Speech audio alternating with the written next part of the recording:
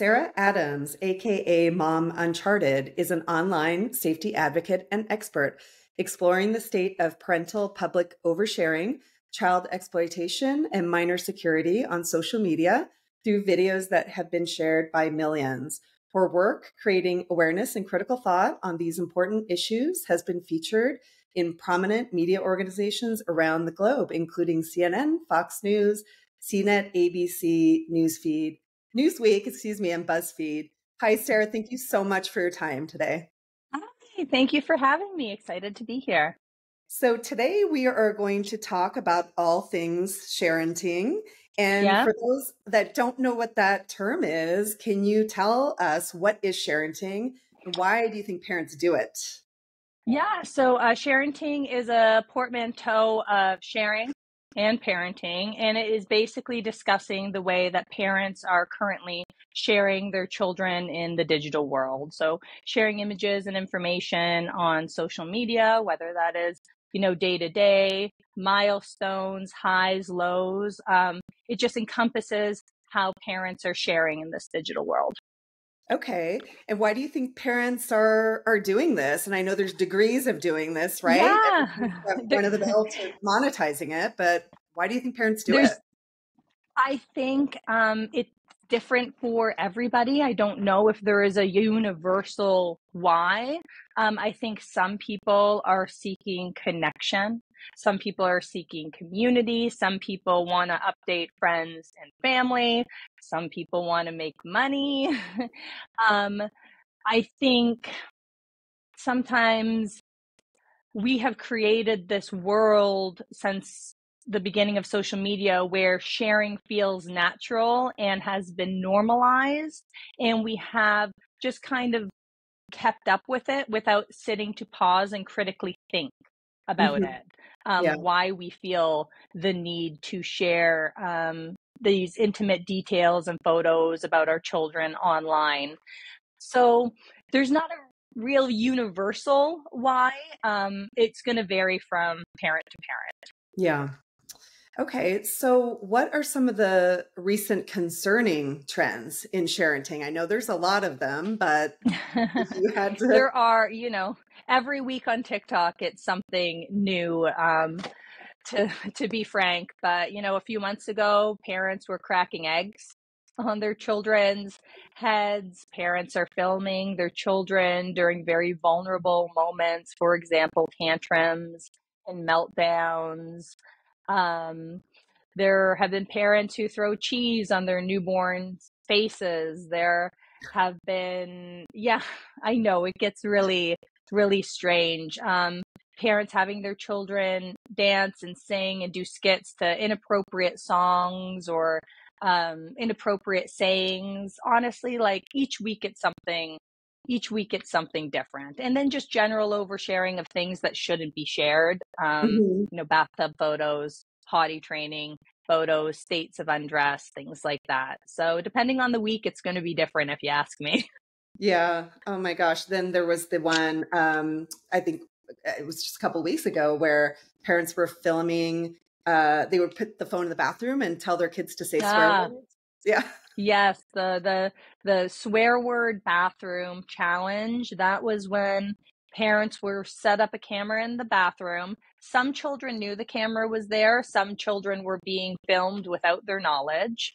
and the parent would say to them, "This is your safe place where you can swear and say whatever you want and um, you know no one's gonna see. So you know get it all out and they'd shut the door and the kids lots of them would just go into it. And i'm talking i was shocked by some of the language two or three year olds were using behind closed doors.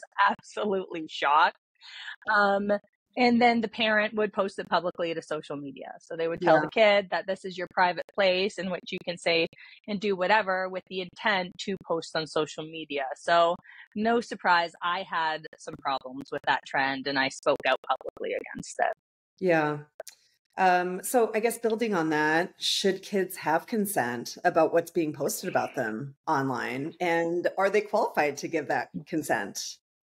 Yeah, I do not think children are qualified to give informed consent. Like, there's no way a three, five, eight, ten year old can grasp um, what social media is and the vastness and the potential consequences and ramifications. They just can't give informed consent. Now, if you're with a tween or a teenager and you're sharing with friends and family, um, I do think you're getting in that zone where they're going to have social media at some point soon, most likely. So having those conversations about, hey, like, could I post this privately to my friends and grandma and grandpa? Do you like this photo? Is it okay if I say this? Like those conversations should be happening with tweens and teens, most definitely. But can they even give informed consent? I would say, I would say no. Yeah, it's really tricky. I mean, we we really focus in on the brain, and the brain science, right behind yes. tech, and um, we talk a lot about the prefrontal cortex, which is the part of the brain that uh, helps us make good judgments, right, and also mm-hmm. realize consequences. And that doesn't fully form until you're 25. So exactly. I would tend to agree with you. I mean, I think it's amazing to start having those conversations about consent, especially if you give your kids uh, social media, because those are uh, value this valuable lesson for them no matter what, right? So, yep. uh, but yeah, I would tend to agree that I'm not sure that they would fully understand the later repercussions or potential embarrassment or anything else, even if it's just something benign. Um, I'm not of sure course qualified I, I, agree, and I and I do think that in general, with parents having access to cameras all the time, taking lots of photos, I think it's important that parents ask. Period. Like I ask my children all the time, "Can I take a photo of you? Can I take a video? Can I?" Um, you know, I don't share anything, so I don't I don't ask that, but get in the habit of asking your kid. Period. Can I even take your yeah. photo, right? Like if I am having my photo taken, I would like somebody to ask me permission yep. to take my photo. And I think that's a great way to start modeling behavior around consent yep. for our children by just starting super basic, you know, with your three, four year old, can I take your photo? And if they say no, then no. Yeah. Yeah, and it also models good screen etiquette for later on, which yes. is something that we do not teach enough. We we hand kids these devices at some point and expect them to know how to behave properly with them. So I love this the tip about even asking to take picture. Like that's going to be useful for them later on too when they have their own device. So um okay. So I would like to ask you about parasocial relationships. So, first of all, again, can you define it for those that don't yeah. know? And what does that mean in the context of sharenting? So, a parasocial relationship is a one sided relationship, essentially, where one individual invests more, you know, time and interest in the relationship, and the other person is essentially unaware that person exists. Mm-hmm. Um, we originally saw it a lot with, you know, celebrities, um, you know, fans feeling invested in their favorite celebrities and the celebrity not knowing that that fan exists. And now we see it more with influencers or family vloggers or kidfluencers because social media has given um, these fans uh, more access. So it feels like you're more a part of this family or this individual's life because you can see them go about their day or comment, um, possibly receive like a heart from the creator. Um, so it feels like you have a relationship with them, but they don't know you exist. And this can be very problematic as in regards to children because there are adults developing relationships with other people's children, feeling entitled to information or images about said child because they follow them online and feel like they know them um, or are family. I'm doing quotes if you're watching, the, if you're listening to this on audio. Um, so, yeah, it can be problematic if people feel intense relationships to individuals that they actually don't know. Mm-hmm.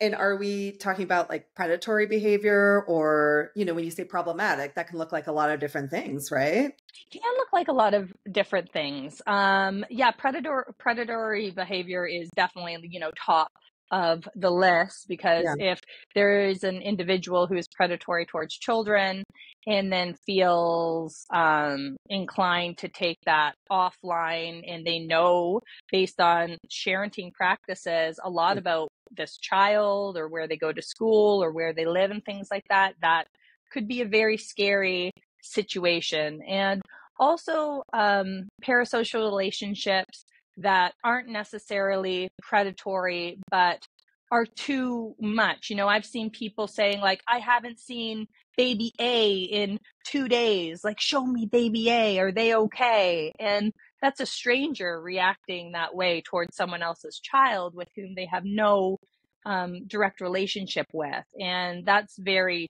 to me, uh, uncomfortable as a parent to think that people in general are like waiting to see my child, my baby coming up in grocery stores, knowing their name. That has to be very uncomfortable for children in this mm-hmm. uh, in this world. Yeah, I mean, it sounds like runs the gamut from creepy all the way up to predatory. like yes, ex- yeah, yeah, well said. Type of the spectrum. Yeah. yeah. Okay. Um, okay, so according to a 2021 survey by security.org, 77% of parents do report sharing stories, images, videos of their children online. And we've already mm-hmm. discussed there's a spectrum of how yes, little or much of sharing it. So, as a parent, what are your tips? Like, what is appropriate and safe to share about your kids? Well, first, I will be transparent. I don't share anything about my children on social media publicly or privately. So, mm-hmm that is what I am comfortable with. I'm comfortable with uh, respecting their right to privacy and informed consent and digital safety. And when they eventually hop online, they won't have a digital footprint, a lengthy one for them to uh, attach to them that I created for them. So it's difficult for me to speak on like what is safe and what is appropriate because I feel um, most comfortable not sharing anything. Now, I will speak to the fact that there are some things that uh, law enforcement, online safety experts will say do not share 100%. Do not share personal, identifiable information, full names, birthdays, schools, addresses, things of that nature. Don't share intimate images, bathtubs, potties, diapers, states of undress, things mm-hmm. like this. Um, and sadly in this world in the online world what is innocent to us as parents is looked at through a different lens of somebody who is predatory towards the child. Yeah. so we might see an image and think absolutely nothing of it. It's innocent. It's a baby eating some fruit or it's a baby in a bathing suit. But individuals who are predatory on towards children online look at innocent images differently. So you know I don't know if I would say like anything is technically safe, especially with the advancements of AI, right? Things seem to be getting uh, scarier by the day. So, if parents are looking for my tips, um, if you are really feeling the need to share online with friends and family, keep your account private yeah. while being mindful of the images and information you share because your child still might be very embarrassed to find out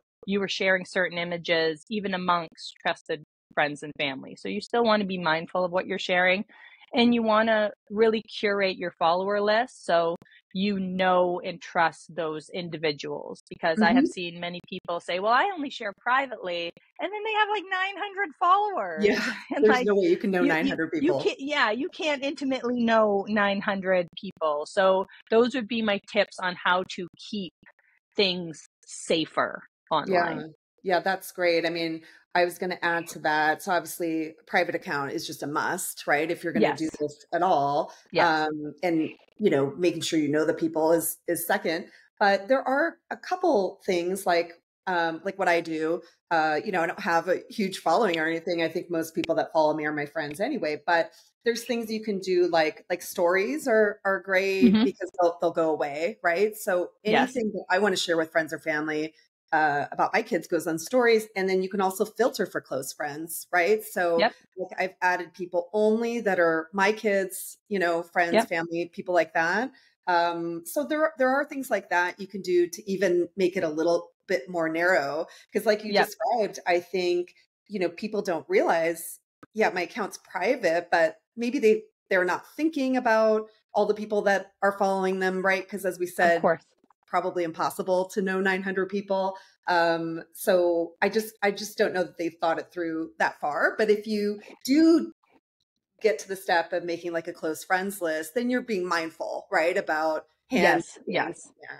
Um, and, and then, we also, and I apologize for interrupting. I just want to, before it leaves my thought, also, and I don't want to like scare and fear monger, but it is important because I get messages all the time about people who were in private and then somebody screenshots a story yes. or screen records a story yep. and then that ends up somewhere else. So, like, it is the safer option yeah. to share in private mode with curated lists of friends and family, but like also you just got to be mindful that private stuff also gets out on the internet all the time. Sure. Like you'd have to trust that those people um, yes. are not going to yes. screen record or screenshot or, or anything exactly. like that.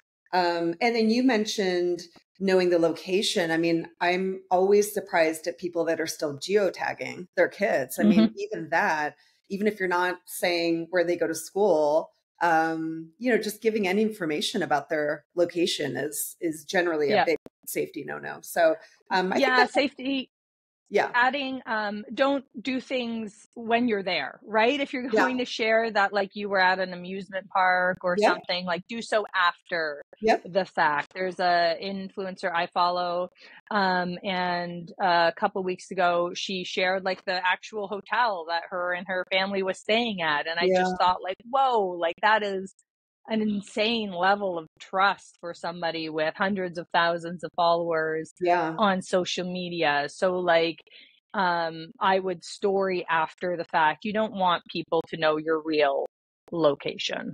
Yeah. I think there's a lot there, good tips for parents.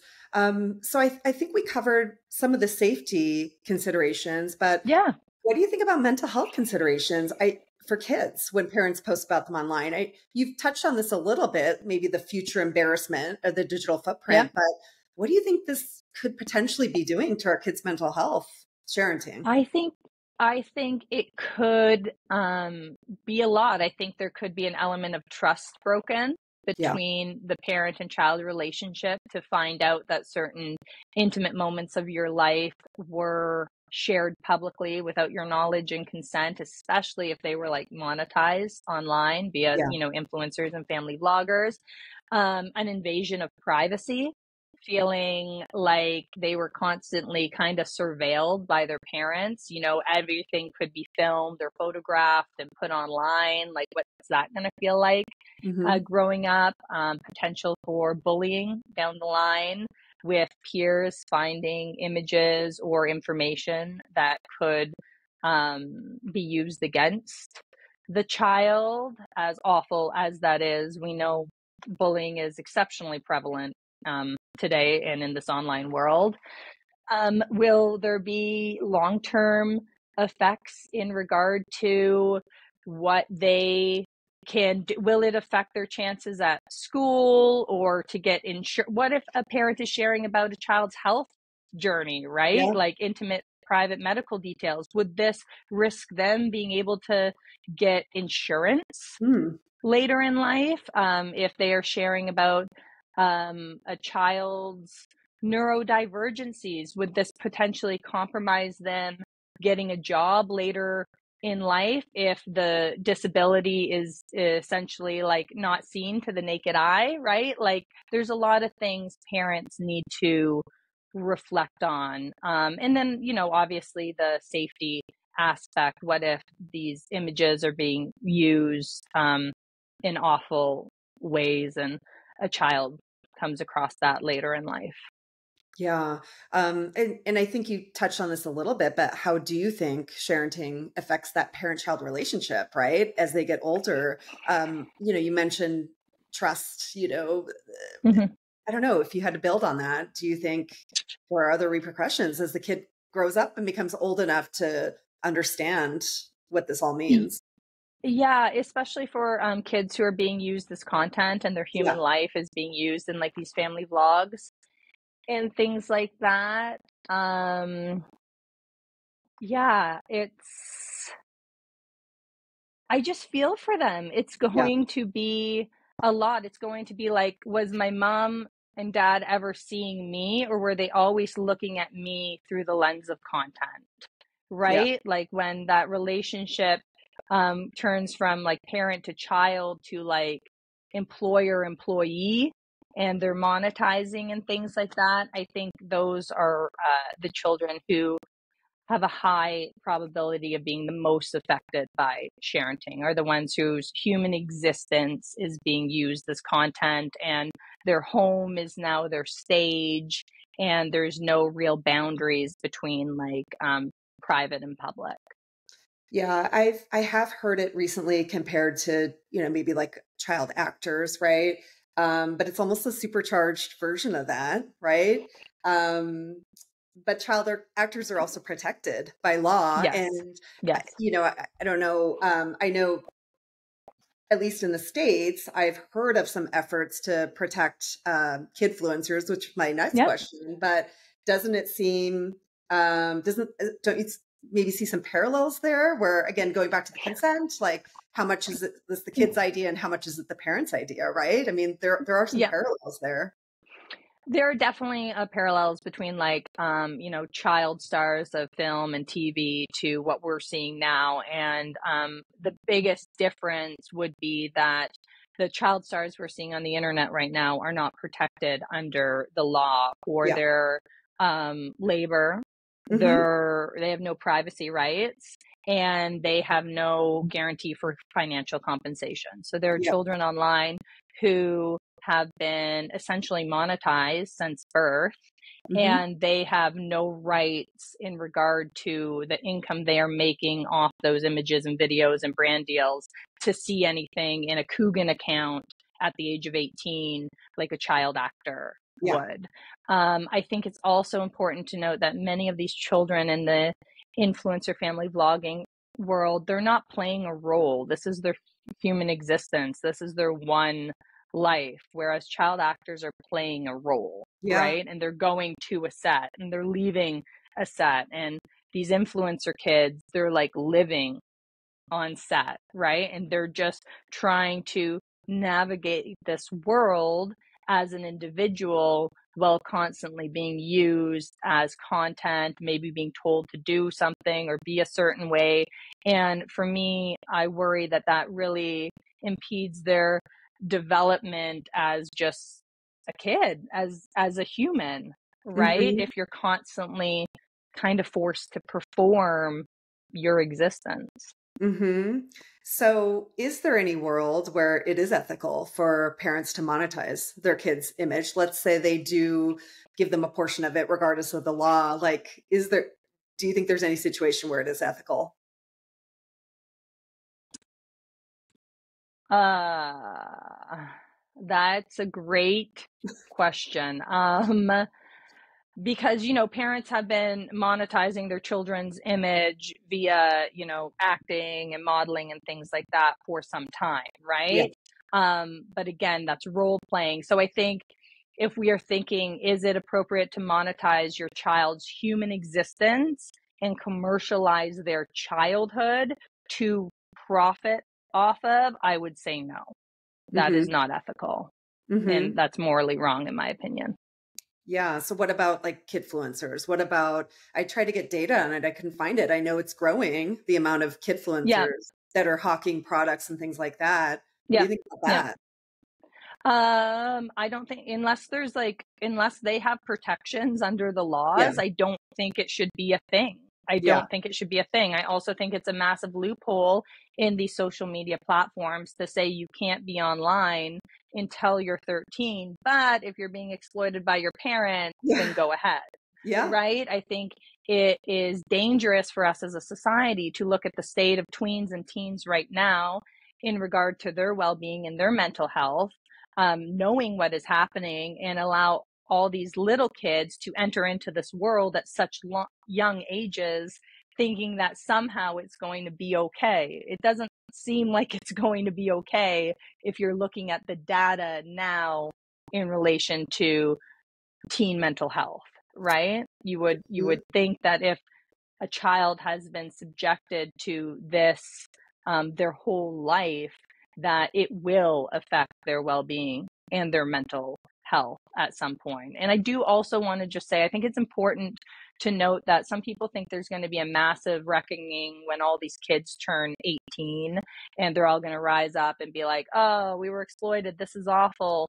But to your point about the prefrontal cortex and brains not fully developing until you're 25, a lot of people don't reflect on childhood and childhood trauma until a lot later in life, mm-hmm. you know, late 20s, early 30s. So I think for some of these kids, it's going to be many years before they reflect on their childhood and truly feel like, oh, wow, that wasn't normal and I was exploited and wow, right? Mm-hmm. Yeah, I heard this term cyber trauma recently. I don't know if it's uh Oh, I no, I haven't heard that one. But I, that reminded me of that. And I'm so glad you brought up the um, loophole for under 13. First yeah. of all, we tell this to our parents all the time. The 13 plus age recommendation for social media has nothing to do with like cognitive or actual safeguards that these companies put in it's simply because of COPPA which was a at least in in the united states which is a law that says you cannot collect data from children yes. that's it um, but as you said obviously many of these accounts for these kidfluencers are managed by the parents so yeah. somehow that becomes a loophole right to get around the yeah. the, the rule um, so I'm really glad you you brought that up because it's technically against the terms of service, I suppose, right? Because kids aren't yeah. supposed to have accounts until they're they're 13. 100%. And they're making the assumption that all of the accounts are beneficial for the child or all parents have the best interest of the child at heart and I have seen some of these accounts and that is not the case. The case is to exploit their children um, for financial gain, um, specifically when it comes to some young girls, um, as the New York Times article recently stated, as well as the Washington Post article. Like there are parents who are knowingly exploiting their young daughters to predatory people online. Yeah. Right. And the fact that that's allowed and that hasn't sh- been shut down is still mind blowing to me. Yeah, I mean, one of the things we tell our parents all the time because it's so overwhelming. All of this stuff is just whack a mole. You know, it's still Wild West. Yeah. Like, it's like new issue comes up. Okay, let's try to solve it. But by the time we do, it's already done a lot of harm, right? So, mm-hmm. um, and then I also think, to your point about those recent articles that expose this um, industry, obviously there are plenty of parents that do know what they're doing and yes. are have no issues exploiting their kids online. But I do think there's a group of parents just that don't really know what they're doing, right? They think, yeah, okay, maybe it's okay for my kid to, I don't know, review a product for a toy company. And isn't that fun, you know? But they might not really know the implications of that for all the reasons that we yeah. talked about. So there is a spectrum, I think. yes, there is a spectrum. You either don't know or you really know. right? Yeah, like, I always say there's a spectrum and there's a lot of gray. There's yeah. a spectrum and there's a lot of gray. Um, it is kind of hard to be uh, black and white. Many people are. Many people are like kids don't belong on the internet, social media, period, right? Yeah. But I prefer to look at it as um, a spectrum and a gray. And my goal has always been to have these conversations and share different perspective in hopes parents can reflect on their own sharing practices yeah. and the content they are consuming um, and prioritize their child's right to privacy over their need to, you know, share or for online popularity or for whatever it may be. Yeah, I mean, I tend to be an optimist in that I think um many parents are just have good intentions right like i think yep. many of them just don't think about the implications of of what they're doing um but it's it's hard to say like how many of each exist right so well i've said many i've said many times that i don't think the majority of parents are sharing online with malicious intent yeah I, yeah. I don't believe that to be true i believe that they are parents living in a world where we have normalized oversharing our children's image and life online, and therefore it feels normal. I get countless messages every day about, I just never thought of it like that. I never yeah. looked at it like that. Like coming across your content was such a light bulb moment for mm-hmm. me, right? So sometimes all it takes is just hearing a different perspective and mm-hmm. having that light bulb moment and making a change, right? And hopefully it all leads to normalizing not sharing as much and giving yeah. our kids some privacy. Yeah. To just be kids. Yeah. Yeah. Um, okay, so you've touched on this a little bit, but I'd love for you to elaborate on AI, which is obviously a mm. huge mm. buzzword. It's something everybody's talking about, yes. everybody's worried about. So, how do you think AI has affected the current issues surrounding child safety and, and parenting?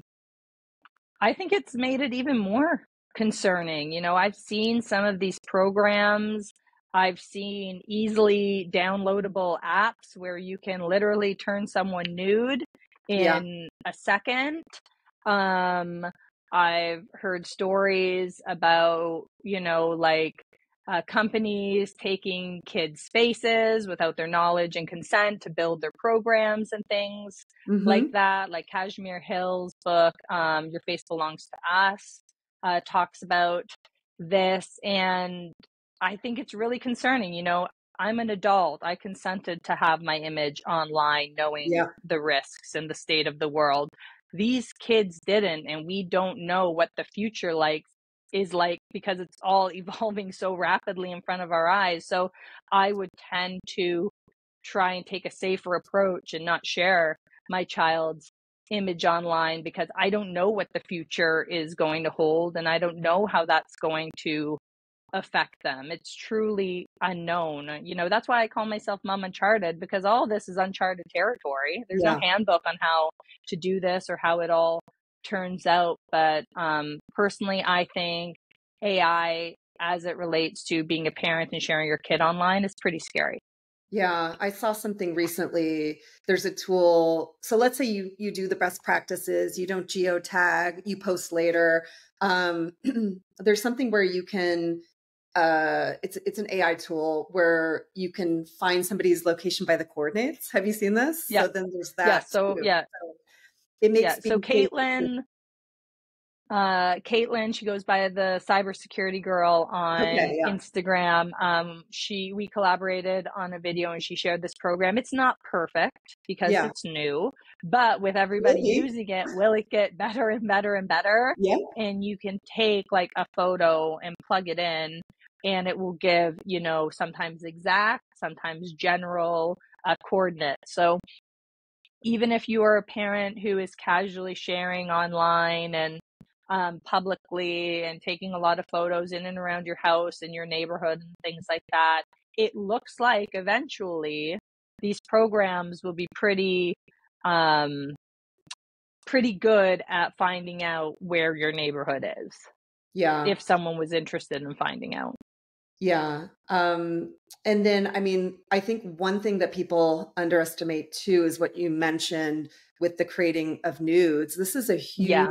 problem for the older kids, like the tweens yes. and above. I mean, I'm sure you've heard the term sex sexploitation, right? Where you know you used to have to make the mistake of sending a nude to somebody to be exploited. Yeah right by either another you know kid or somebody a predator that's been grooming them now all it takes is to have a few images of you available online and those those can be created you know by, yeah.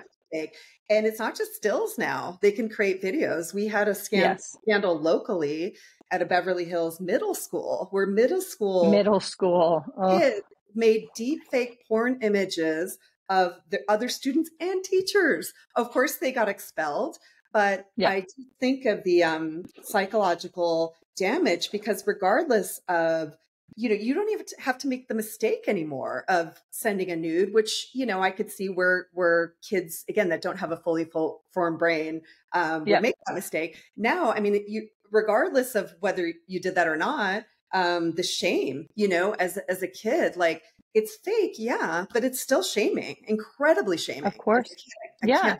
Can't So, um, you know, again, not to scare people, but this technology is here. Um, yes. It's working right now. And back to yeah. your point about the the location one that maybe isn't perfect in a few months it will be you know and yeah. these things will will keep coming so i think um, less is more is uh, i think that obviously the safest approach not just for actual safety but you know mental health safety i mean there's yes. we talk about both of these things all the time they're related but there's mental health implications of of tech and then there's actual safety implications of tech for kids so yeah um, those practices pr- protect both. Like you can't go wrong by just not. Yeah, no. Yeah, exactly. Exactly. Yeah. And um, that's kind of what I preach. And that's what I do. If I want to send a photo, I just text it or email it to friends and family. And I'm fortunate that like none of my friends and family are oversharers or sharers anyway, right? Yeah. You know, I've never had to fight with my parents or my in laws about sharing images online or anything like that. We're kind of all, we all, we're either not tech savvy and couldn't do it anyway, or, yeah. Or we're just not those people. So, um, yeah, share, share less, uh, go private, be mindful of any information and images you're sharing of your children and just, you know, ask yourself before you post why. Yeah. Why are you sharing this? You know, like, does it, is it benefiting my child now? Will it benefit them in the future? Um, what is the need I am feeling to share this with yeah. the world? Right. Yeah. Um, and I think if parents start reflecting on that, they'll realize that the reason why they're sharing is often coming from inside them has Absolutely. little to do with their kids. I meant to drop this in there, but you know, this is my armchair theory, but I mean, I, I, it's absolutely supported by brain science. I do think there's a validation, obviously, on the the parent side, and they're getting little little dopamine spikes every time yeah, somebody's yeah. liking, commenting, sharing, uh, commenting on their sharing posts, right? So, um, I think asking yourself, like you just said, is this just like a little cheap fix for me? And, you know, maybe I'm feeling a little bit empty or like I need some validation, mm-hmm. or is mm-hmm. it actually going to benefit my child? Is just like a really good check. So I think that's a good yes. rule of thumb. Um, well, Sarah, thank you so much for your time and everything you do. I love that you take such a clear stand on this. I, I think it's super brave, um, but also you're giving people great information and tips, which is so, so needed um, in every niche, but especially this one, because we're talking about our kids' safety, their future, their mental health. So, um, so thank you again so much for everything you're doing. Awesome. I really appreciate it. And thank you for allowing me on your platform to further discuss these issues. So it's been great. Thank you so much.